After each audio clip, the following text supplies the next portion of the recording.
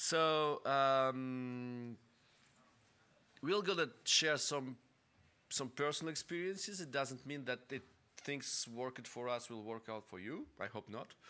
Uh, but at least uh, we show you some some some things during our history since eight years now. So let's start by some personal um, history. Uh, I first founded a company which was quite similar to Adyax in 2000. I was 20 years old and I failed it in one, nine months. So I get to pay IRS taxes and for years and years. And then um, a friend of mine had a good idea to launch a video-based um, booking site for uh, luxury apartments and hotels in Paris, which was quite good idea by the time there was no video. And that was actually for a reason. Uh, because if you look at nice hotels rooms with nice uh, big angle photos, it's just like dreams, so you reserve it. And if you look with a small video, you actually realize that this room for 1,000 euros a night is just a 10 square meter small room and you'd never buy. Unfortunately, we noticed it after we launched the site and after filming 250 hotels. So four months after releasing the website, we just realized that we cannot get any money from that. So it was quite good failure. So we decided to pivot. By the time it wasn't pivot, it's just failure. Uh, but we still decided to pivot because the good thing is that actually by, by, by totally random, we selected Drupal, Drupal 4.7 at the time, to create this website. And, and by the time, there was only about 10 companies in France doing Drupal. So we said, a good idea, let's try to sell Drupal sites. So the first time we called our company eDrupal, which was quite good in cold calls saying, hi, we are eDrupal doing Drupal. Quite normal.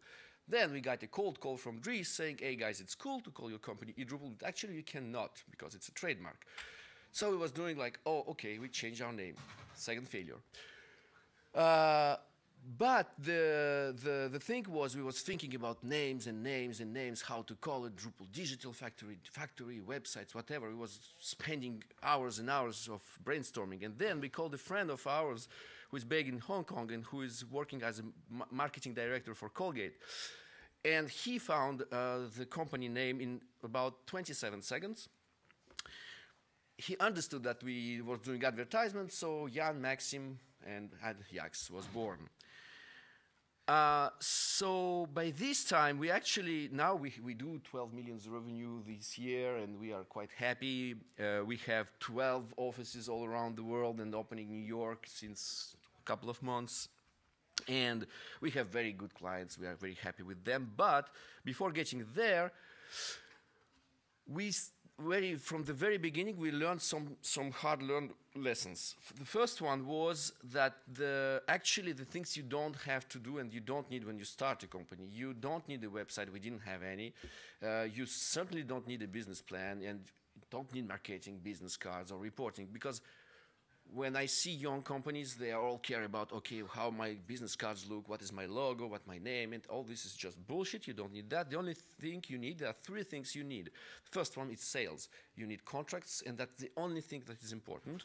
The second is obviously sales, and the third one is sales. That's all. The rest for the rest. And the thing is, if you don't have any references, because when you start a company, you cannot just pop into Johnson & Johnson and say, hello, um, we are two here, we're doing Drupal websites, you want us to work with together. So actually you can, sorry, it shouldn't touch that. Eh, please, make it work. Yeah, thank you. Thank so actually, as you saw, many logos of famous um, uh, Well, it should work now. yeah? In this. Actually, it would be quite complicated to talk about failures, to fail projects in slides. Um, but it, it should have worked. Uh,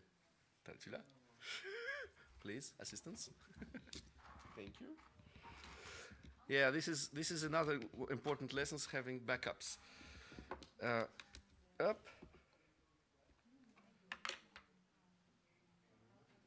No. Not my. Not my. Ah, thank you. Thank you, Ronnie. It's okay, we are already.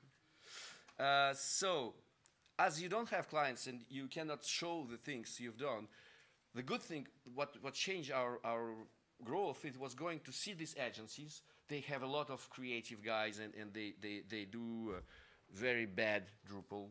Uh, by the time, very bad Drupal developers. They are not using this technology. They don't have in-house high-skilled developers.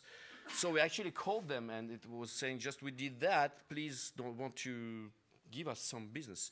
And actually they do, because they're searching for cheap, small companies to, to subcontract their development tasks. They are not, they don't want to do development because they have creative.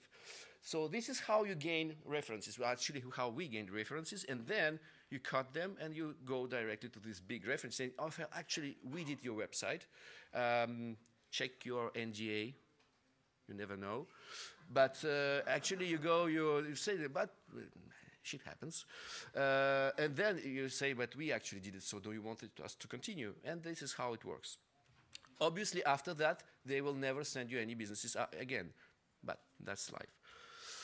So the second important lessons we've learned, and as we're doing mainly fixed budget projects, is the art of estimates, which actually starts with just find out, putting numbers randomly on a sheet saying, okay, it looks like 20,000 project is okay, and then you end up paying 45,000 to your developers to end up with 20,000 projects. So what we, uh, what is really important is doing as precise quotes for fixed budgets as possible.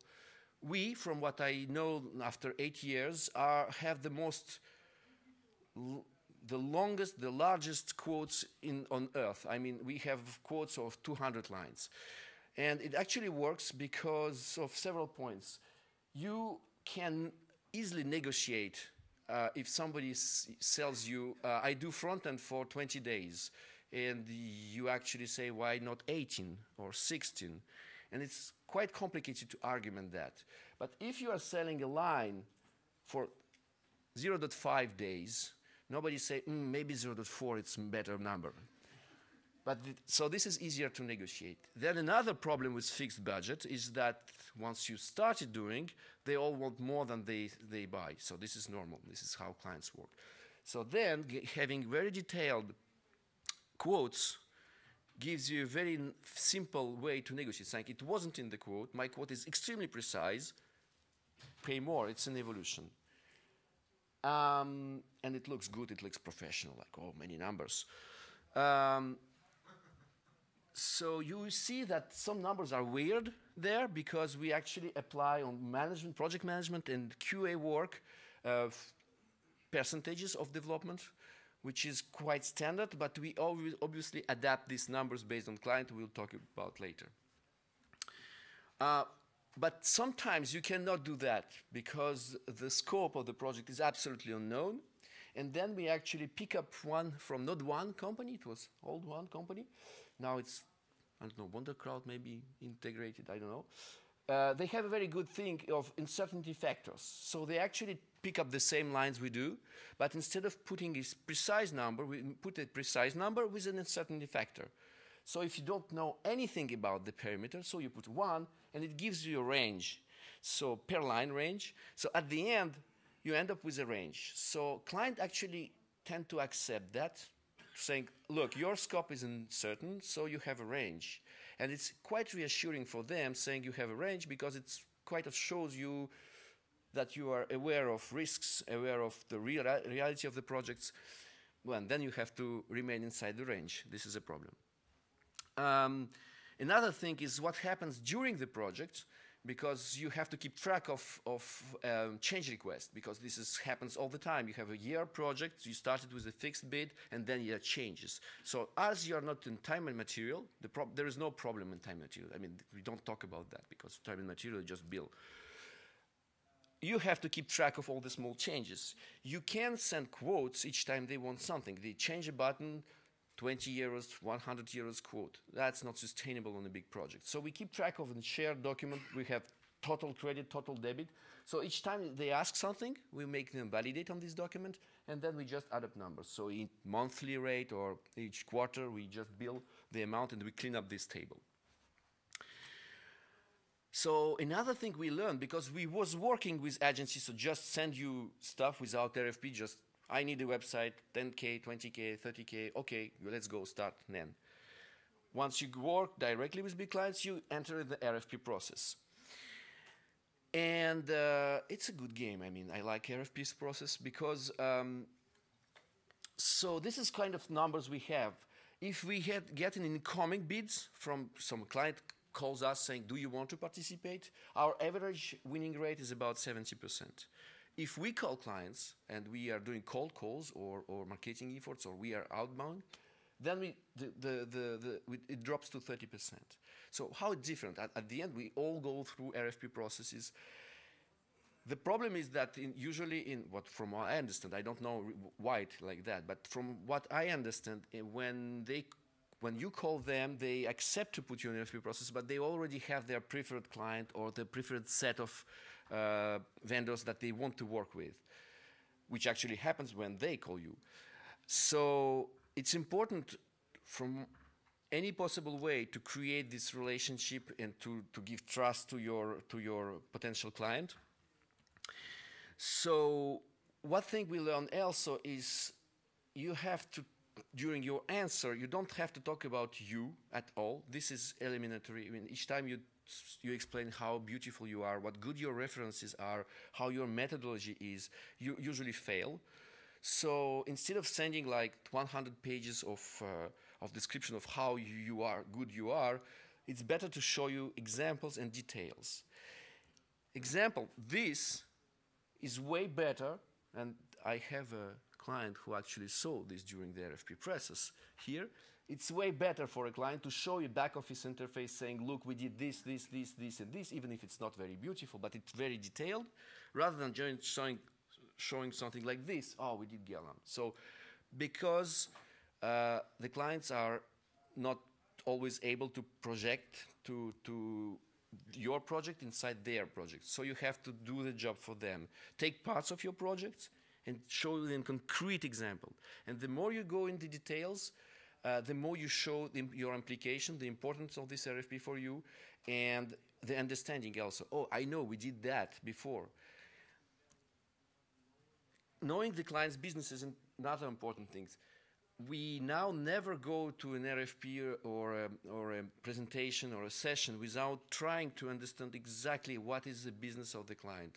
Even if it's only technical migration from Drupal, from Typo3 to Drupal or from Adobe to Drupal or from whatever to Drupal, we still during the process try to learn as much as possible who is their competition. Is it a complicated business? Um, what are the ch sales channel? Why? Because during the conversation, you have to create this small link between you and the trust link within your clients. And knowing their business, it's easier. When I go to see a publishing company and we talk, and I bring in uh, with a journalist, for example, so they talk the same languages, some, some same small jokes or same sad stories. This is how it helps you to create this trust. So this is an example. Another, when I come to a publishing company, I show you, look, we know how to build your, uh, uh, your workflow. Look, we did very complicated workflow for another publishing company. So it shows you the level of your, of your expertise. Another way is changing the game. I give you a story. We received a very large public RFPs from uh, Health, Ministry of Health in France, very large, multi-million public RFP. So we was against Accenture and uh, Capgemini, very large companies, right? So the initial thing it was create a portal to um, aggregate all the healthcare information around different producers. They have hundreds of uh, uh, producers, uh, public producers of in health information like eCancer, orbital.gov, uh, etc. So we aggregate and we create one uh, portal named Santé.fr, which is health.fr.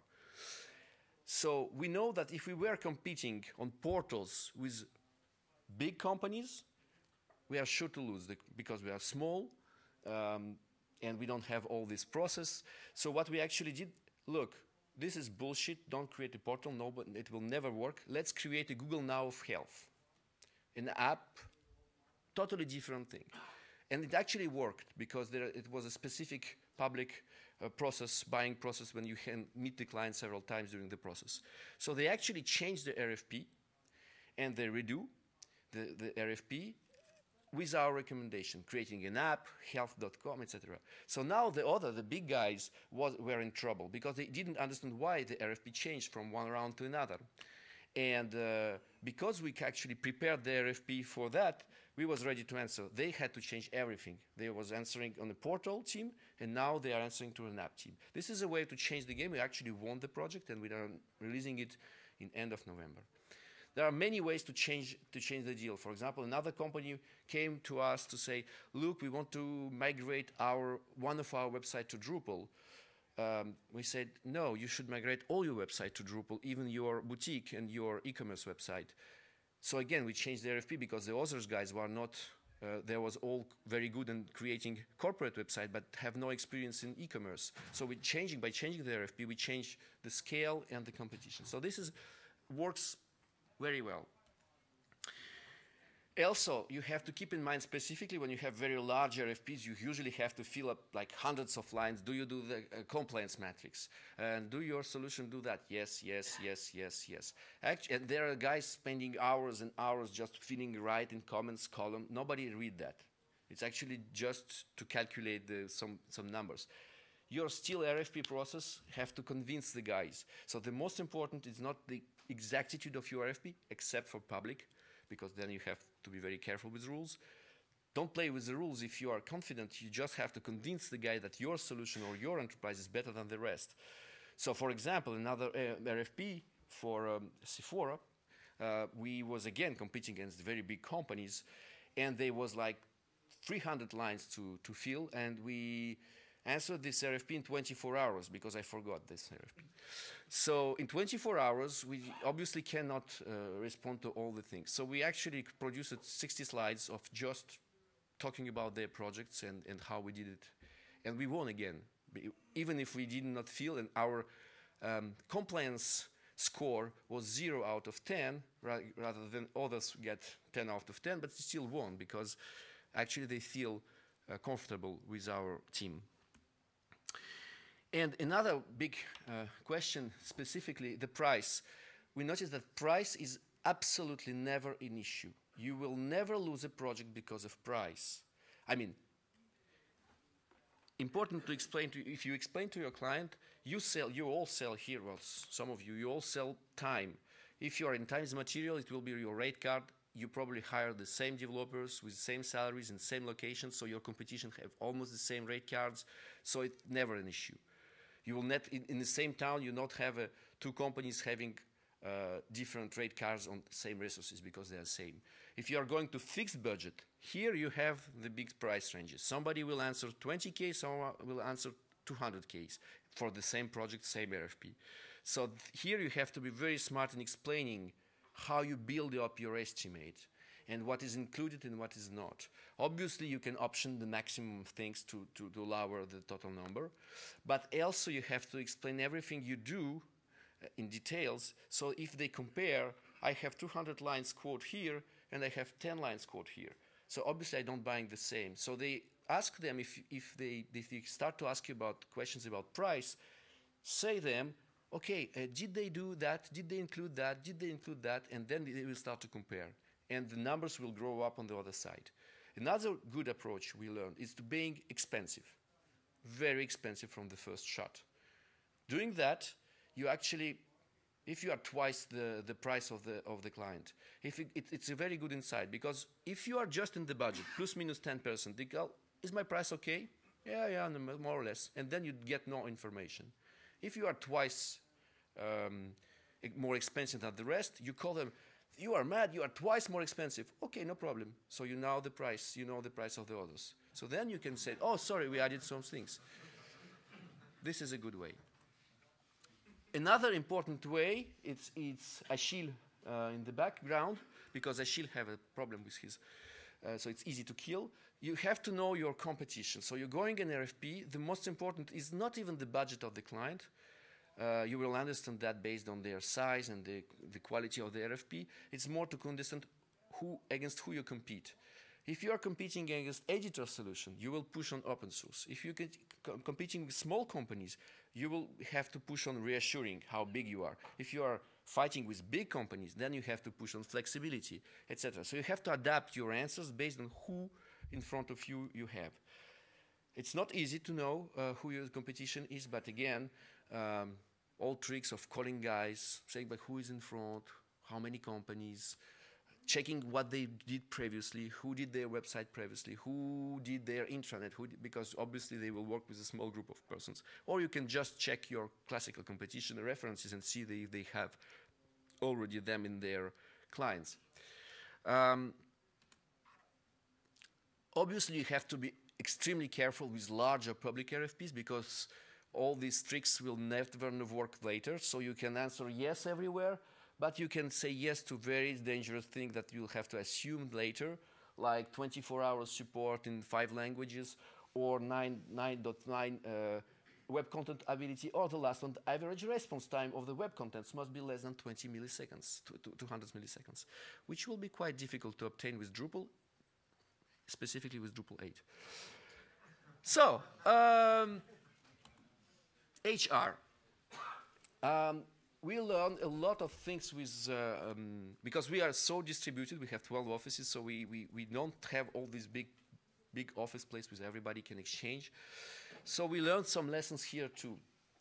For instance, the culture is the most important thing we have.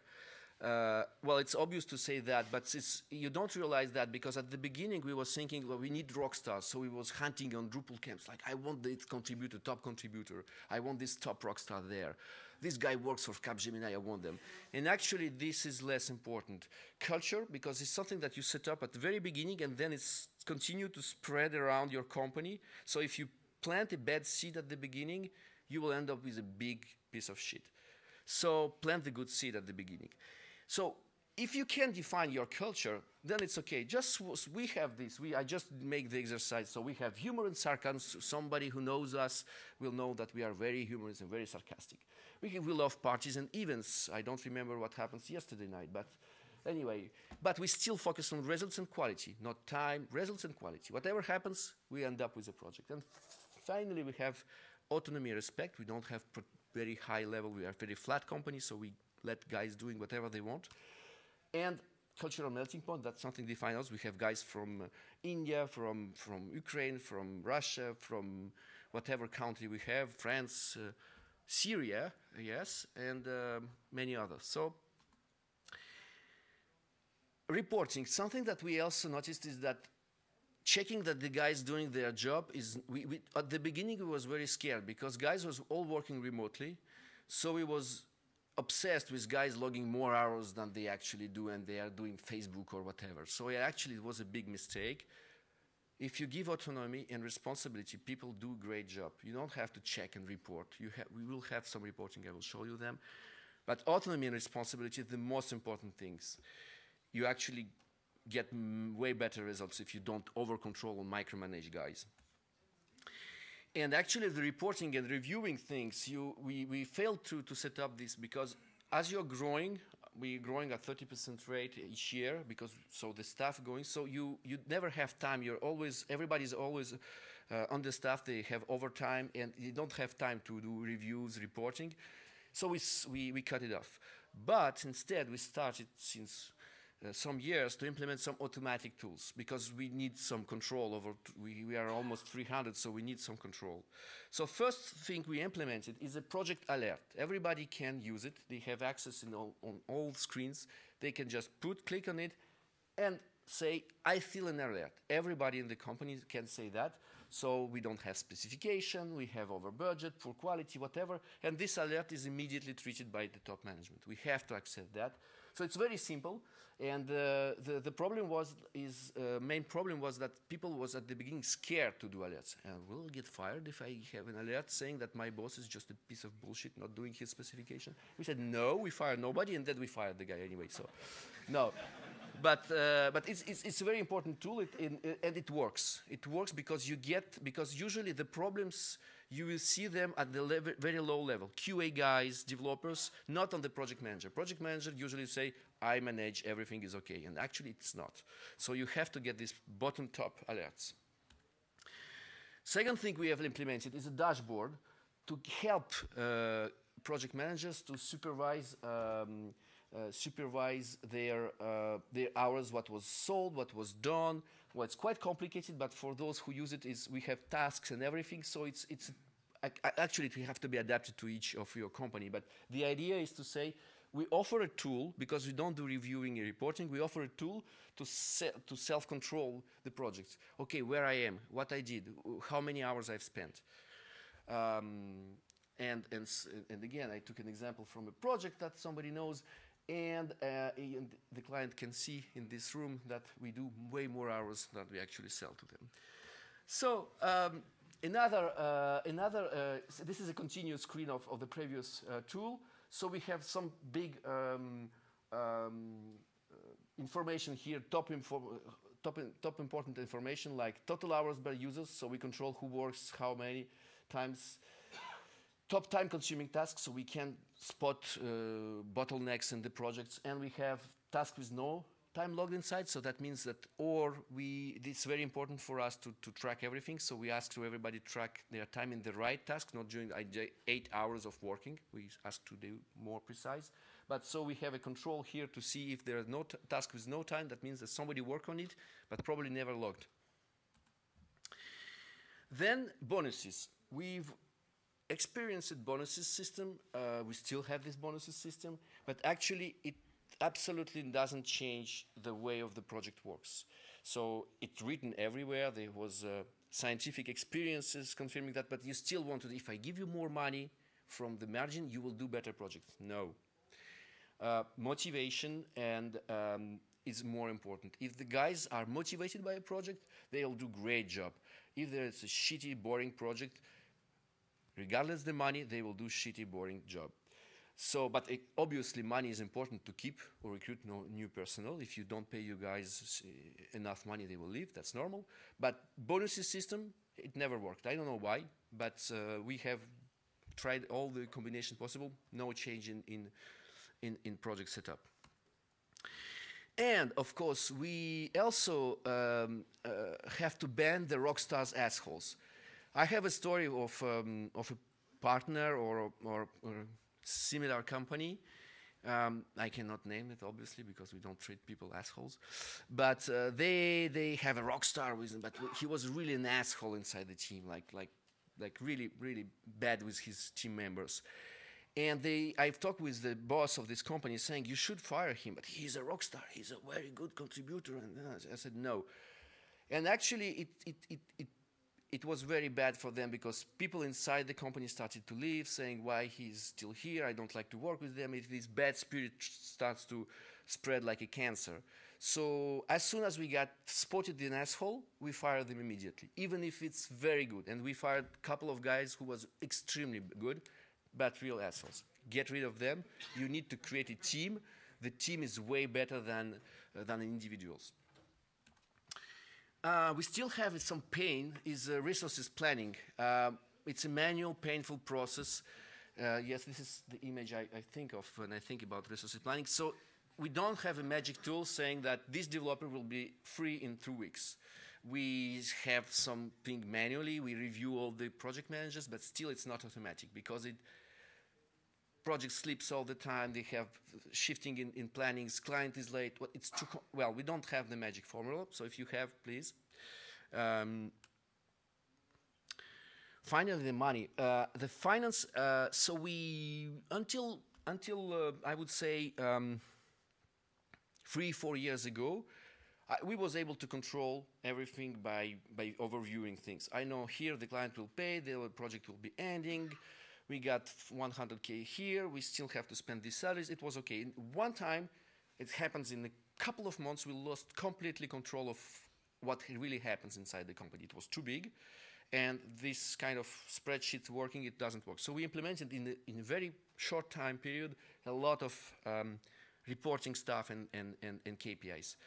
So we actually, this is a KPI we track inside. We have production per head.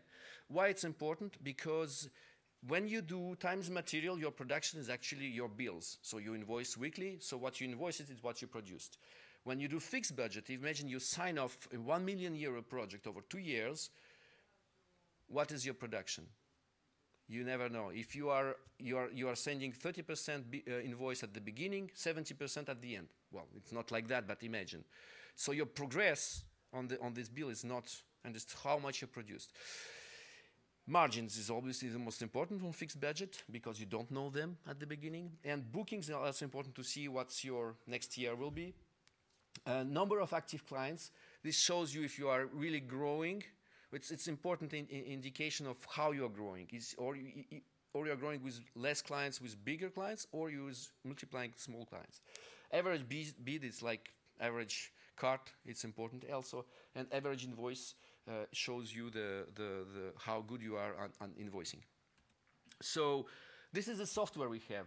So we have Salesforce for leads and opportunity pipe. That's all.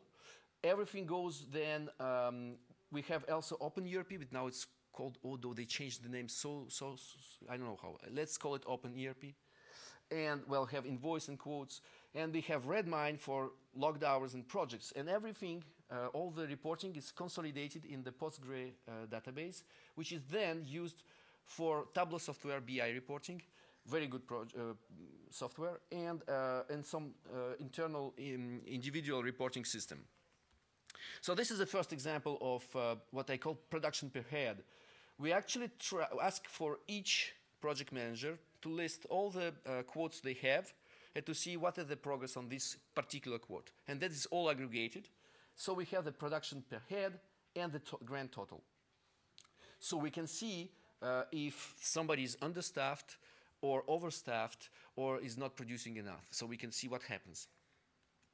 Um, but we also give a tool for each individual to track down uh, everything what happens in their project. So if they access to this tool, they see what happens currently in their project. So they see where they are in advancement, what are the total cost of the team month per month and they see if they are good and there is an alert also it's saying okay that the margin is okay if it is if it is red it will popping everywhere saying hey guys guys guys you're running out of money Another thing is, in theory, this is a theory about S curves. Uh, it shows the life of a project in terms of costs.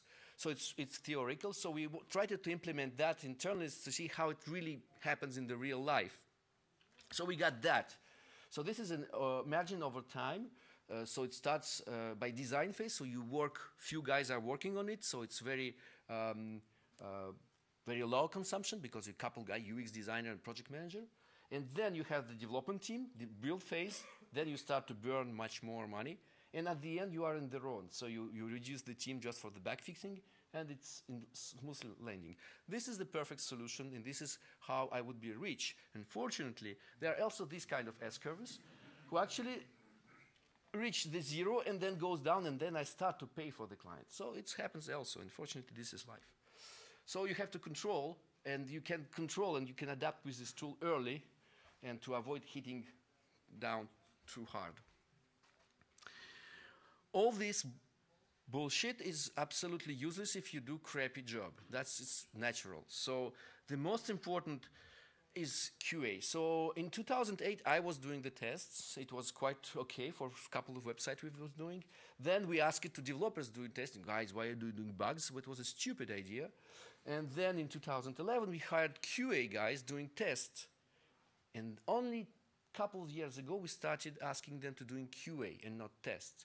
Because what is important to understand that the QA guys don't do testing, they do quality assurance. So they check that the requirements are met and the test plan is think and organized. So you don't have to hire small hands to click on the Internet Explorer 6, 7, 8, and 10. You have to hire smart guys who are able to create a coverage of your projects, to, to create a test plan, how to test and organize the testing. And actually today we have 20% uh, of our workforce are, are, just dedicated to QA, uh, and it's not enough. Uh, when we see, we have this also reporting tool, which is a test relative effort per project. So you see the percentage of the test testing efforts compared to the development efforts. And you see the range is going from 35% for very simple uh, or standard projects up to 50 and more for complicated projects. I think the first one is an error, but okay. Anyway, so the, what the regular number for doing high quality job is to 50% of your time, of development time is dedicated to QA. Creating tests, running them, maintaining automatic tests. you have a, lot of, have to do a lot of testing to do quality job. And again, quality teams do not have bu bugs. They actually check that the what the developers created met the requirements. So if your requirements are bad, then they cannot uh, uh, save your project. So we have another uh, uh, metric we, uh, we, we, we track in quality is what we call the cost of rework. So it's the amount of time, the cost of bug, bug fixing, bug hunting, everything related to bug versus actual total cost of the project. So you have immediately, and we, we, when we just implemented that KPI, we see immediately that the top projects are the complicated projects, we get problems. And what we also noticed with analyzing all these numbers is that if it is under 15% of the cost, you have a perfect project. If you are between 15 and 20% of cost of rework, you have a technical debt problem. So actually you you're rushing your architecture, so you're creating crappy models and you go fast to meet deadlines. But okay, and if you are over 20%, that's a requirement problem. So you solved something that was not poorly, uh, poorly uh, um, described, bad specification, and actually you are redoing stuff again and again and again. It, it can be a never-ending project. So you have to be very careful from the beginning. Uh, project management efforts is also very depending of the client and uh, depending of, of the complexity of, of the project, but the most important is shows the client maturity. Um, if you have less than 20% of project management, then you have a mature, digital mature client. If you are over 30, if it's a large organization with, tens and tons of people trying to give their ideas about your job, so you have to explain them, no, it's not a good idea, no, it's not a good idea, and again and again. Uh, finally, again, for the team and for the client, we set up a very simple um, KPIs that are calculated, as you may see in Google Docs, which shows you the efficiency, the quality, and the post-delivery uh, quality on the KPI. So actually we track some numbers like velocity variation, rework effort, test efficiency, etc. Defect. You can find all these metrics that are very well known. You just tap them in, on Google. You will see how to calculate them. And we show to the client these small gasoline things. So they can see that we, we are quite efficient. The quality is quite okay, but still. And the post-delivery was very bad, but I think because we didn't uh, uh, set some numbers at the, at the end. And for the run, because we also have a support team running the project, H24, we have a little bit more uh, KPIs like equality, efficiency, and SLA. Do we meet the SLA or not? Because if you don't meet the SLA, then you pay penalties automatically. So, and cost variation. So again, this is, helps your team to really understand how they do, and it helps the client to, because sometimes the clients say, "I feel you are not good enough." The quality is not as it used to be. And, and, and he cannot explain why, and you cannot explain why. You ask your guys, everything is perfect, you ask me, everything is bad. So you have some real numbers to show them. Sales. Um, obviously, we run until 12 with only two guys doing sales. We have a sales guy uh, who is doing cold calls, and we have a very smart, intelligent, beautiful guy doing bid management it's me. so together we reached 12 millions. How? Basically, um, well, the first of all, the case studies are the most important source of leads.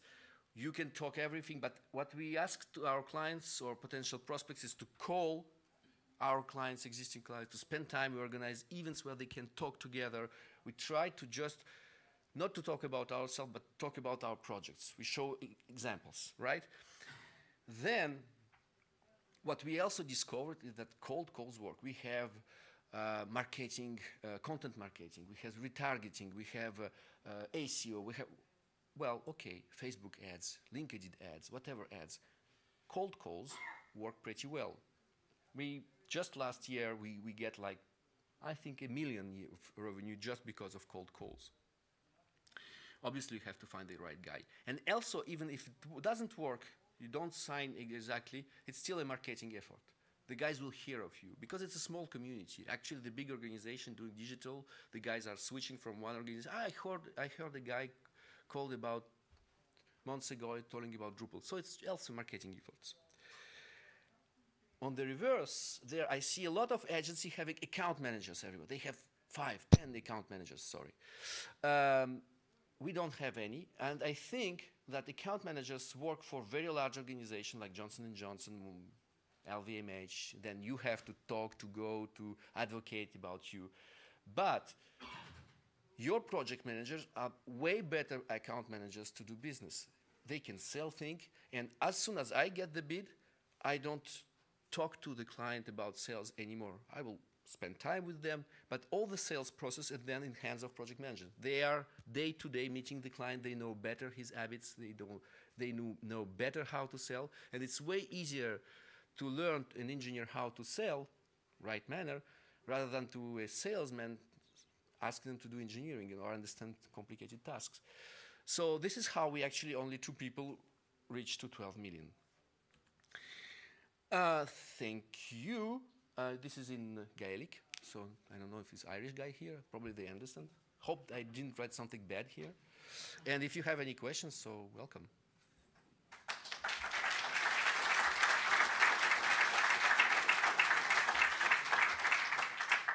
Yes. How do you get people to report all those numbers? Well, actually, they don't have to report a lot because the only thing they report is logging hours, and we only structure our Redmine task in a very specific way. But then everything else is automatically gathered because the hours are logged in specific tasks. We have a specific workflow in Redmine, so we set up a very specific workflow in Redmine. We have a very specific organization of tasks in Redmine, epics and user stories, and classification of each task, and then they log hours, and everything is automatically uh, generated. And, and all the subjective info, like uh, the, the, the rates and, and the risks and all these things? Well, we, if well, actually we don't have so much subjective information. We have this reporting form, alerts form. We also have in Redmine popping up time to time. Now we will have this. How do you rate this project? Like or don't like? But that's all. Uh, we don't. The subjective information are gathered after we get an alert or after we after we check out there is a problem. But all the, the things I showed is automatically generated. There is ah yes, there is one is advancement of the uh, advancement of the quotes on the fixed budget to see the production per head. This is there is a guy going hello, this is your list. How it, it takes like five minutes per guy just to see uh, what are the percentage of advancements. That's all. Well, actually, it takes a little bit more, but you know. Any other? Uh, yes. elaborate a little bit about the bid management process because it seems if you're producing those really large matrices to create the time estimations and the fixed cost, your project manager or whoever you're using would need a lot of time to spend to go through departments. And they're working for you as just a bid creator, or are they managing the projects at the same time, or they're on the bench, therefore you're using them? So how do you manage? It, depends. It depends. Good question. Half of the bids I do it myself because I have I'm I'm well doing it for eight years. I'm faster than others. So then you have we have also metrics uh, on past projects, so we know quite precisely. And then yes, we ask them to time to time to spend half a day to do a quote and estimates. And it actually estimates are not the, the, the worst in terms of time consuming activity. Creating an answer that corresponds to the client needs, this takes time. Filling up numbers, it takes, even if very large, it takes a couple of hours. You know, okay, because we, we, we know what we do, so it's not surprising. So, but the, creating the answer, this is, takes time. This, this takes me 80%, 120% of my time. So uh, there was another question there, yeah. Yeah. Shall we go to the mic? No, well, it's okay. We, I think it's small. If you speak loud, Yeah, yeah, okay. you're a big guy, so you should. First of all, thank you. It was very interesting. uh, one, I have actually three questions. Ah, you have to be. It's the first one is free. Okay, the first one was just explaining about the billing and how actually you break down because you said you can reach up to to, to 200 lines, yes, sometimes, yeah. you need some technical team to look into it or how you Yeah, we well actually I'm technical, quite technical guy, so I know what uh, well almost well I, I used to know what I was talking about. now it's a little bit different, but yeah, the idea is to split up, the features and templates and small features and all parallel activity like setting platform uh, integrations. You actually extract from the bid everything. You, if you see one word is SSO, So you automatically know that you have to integrate um, ADFS, LDAP, and SSO protocol. So you have to set up maybe some CAS server, and, and you write up lines each time. So one single word in the RFP can end up with five lines of your, on your quote.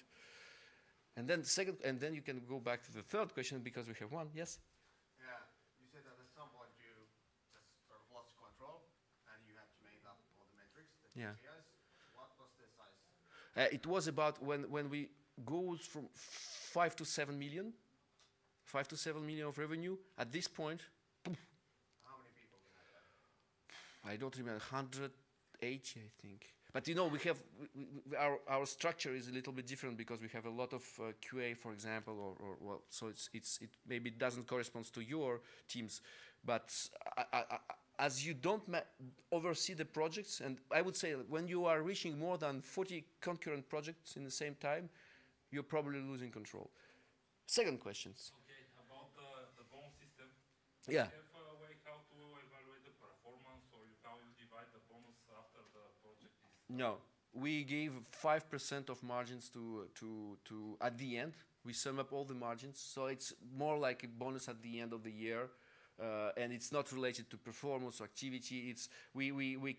We abandoned that because as soon as you start to do that, people start to working for the KPI and not for, for the job. So we, we, we don't do that. We raise salaries, we get bonuses because they rushed on the project, but we decide when and why. But no automatic things with KPIs because, well, it just didn't work. Yeah, it's it's quite. Uh, we, yes, we we are we we we we decide at the managers levels.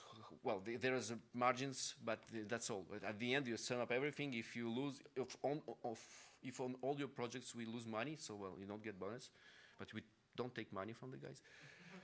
Uh, uh, but if they are overperforming on their projects, so they get some bonuses. But it's it's it's not automatic. We don't have this automatic. I know that, for example, in Buffer, dot, uh, the Buffer company, you know, they are very transparent, so they have a very smart formulas of giving bonuses and performance and location. Well, well don't have that. I don't, I don't know. It didn't work for us. Maybe it works elsewhere.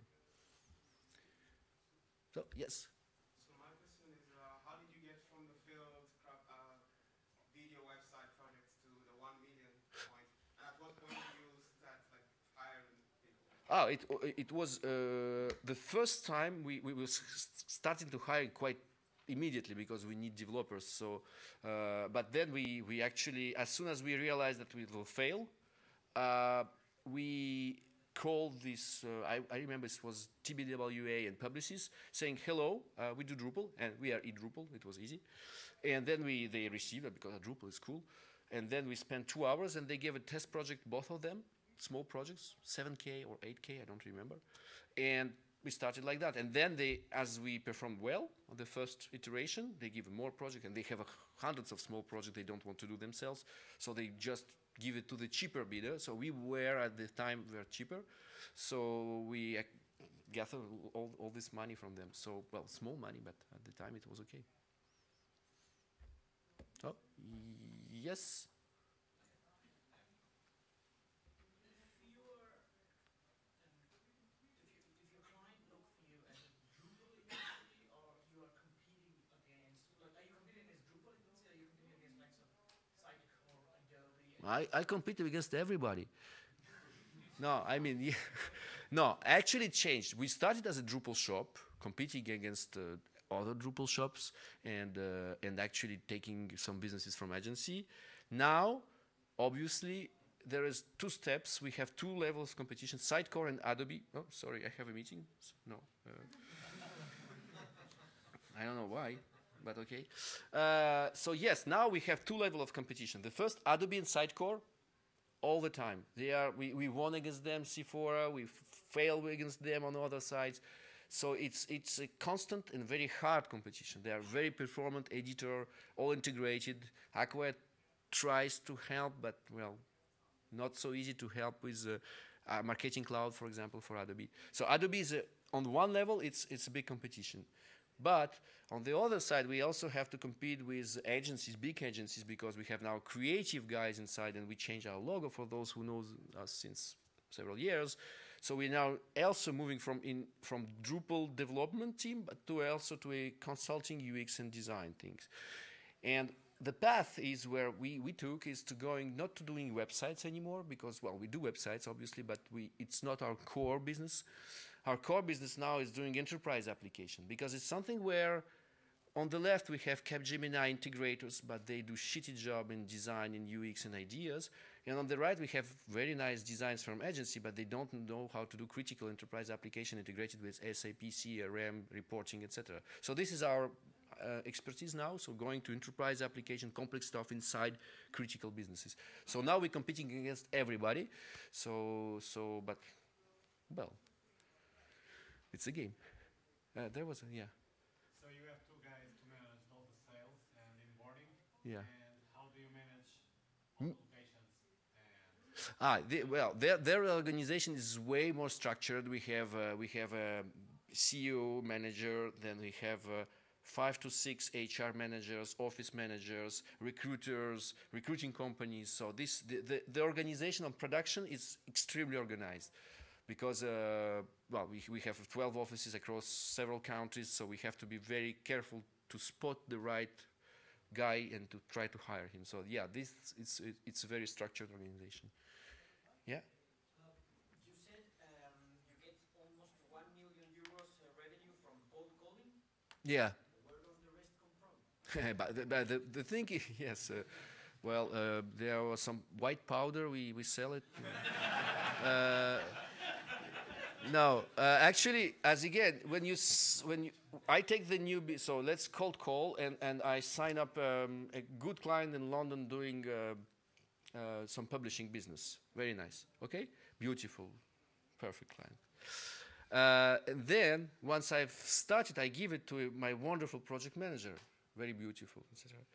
And then all the all the relationship is managed by these guys. So if there are new projects, new demands, it all goes to them. I don't touch it anywhere. So he manages the rest. So the rest comes from project managers who are actually sales and Swiss knives. Yeah. So what is the percentage for QA you spend for, for a project and how much of it you manage to sell the? We we try to sell everything we can, but we not always always. Uh, uh, but 50. The good thing we spend 50, about from 35 to 50 percent of development time on QA. This is this is a standard metric. When we sell, well, we try to sell 30, 35 percent. It's you know, always you have a um, purchase manager saying, "Oh, you are too expensive. Your rate 50 percent of QA is way too much. We are used to 20." I say, "Okay, but but it's actually how you get quality and well so it's complicated to sell qa but well at the end they uh, on fixed budget they see the, the final number they don't actually check the percentage so 50% yep. S- sorry i, I yeah. Yeah we have only one cold call cold caller uh, and it's it's a Maxim. He's a small Maxim and the big Maxim, so it's Maxim team to maximize revenue. And uh, and the cold call guys, he, yeah, he's uh, alone. He he qualify. He's just a gem. It's complicated to find. Don't say to him he's a gem. He will ask for raise in salary. But uh, yeah, he, he qualifies and he selects the client. He calls, he calls, he calls again until they get the first meeting, and then I come in, and then we try to understand what their needs, etc. Finish? Have you tried that outsource? No, well, well, I, I, I- don't see how you can outsource your, your cold calling. I mean, some bullshitter will call you, hey, hi, you want to Drupal shop? No, no, you cannot. You have to understand before calling, the guy spends about an hour before calling a company, an hour to just qualify who they are, what they do, what are the existing technology, who are their competition references, and its qualification asks to somebody who knows your business. You cannot outsource just calling. It's not just calling it. Understand and calling the right person, saying, "I'm calling from your boss. Who is your boss?" Ah, y- you know, it's it's it's a quite complicated process. So that is more about quality than Yes, yes. You don't need to call everybody. You have to just call Total, uh, Actron, uh, I don't know, uh, General Electric, and, and big companies. Then the rest, you well, but you spend your efforts on the big ones. Yes, one big client is better than, than ten small. Yes. Okay. Yeah. It's, it's four questions, you know. This. the percentage is way level. KPI alert. What? So when you do the cold calling, are you calling to recommend a project to them, or you s- identify the project then you cold Ah, this is cold calling. You call and you cannot end up with everything. You can go to dinner with them, or, or I don't know, but you, you can sell them trying to sell a project. Well, it's cold calling. It's it's a random process. You have to adapt each second to what your your your guy is saying. So it's it's it's very different. You cannot formalize like you do this and this and this. There is no script. You can say uh, it's personal to bypass a secretary. You can you can say checking his boss, saying I'm calling from his boss, and and, and how he's scared, so he will. Well, it's it's all depends. So. Yeah, there was fourth question. Yeah. Uh, yeah, I was interested in uh, the structure, and so you mentioned that you don't have account managers, for example, on a project level, uh, when there is kind of escalation, or I don't know, what is the upper level after the project manager? And I'll combine the question. He's a good at sales. Actually, we able to hire you to, to, to upsell things. And uh, it's uh, related to the question, because you said that uh, you are only two people involved into bidding, etc. Uh, for such a big uh, company, because I, I think you are more than 300 people, Yeah. Uh, it is absolutely. Look at my uh, my eyes. Uh, it's absolutely bottleneck. So I, I'm finishing the bid now because you don't see my second screen. So I'm just filling up because I have to send it in five minutes. No, yes, it's absolutely bottleneck. We'll try to resolve that. And escalation. Well, we have several levels of escalation. We have project director, we have uh, COO, and we have me and, and, and my partner. So, but we don't have escalation because every project happens so good. Okay, thank you guys. I think we are running out of time.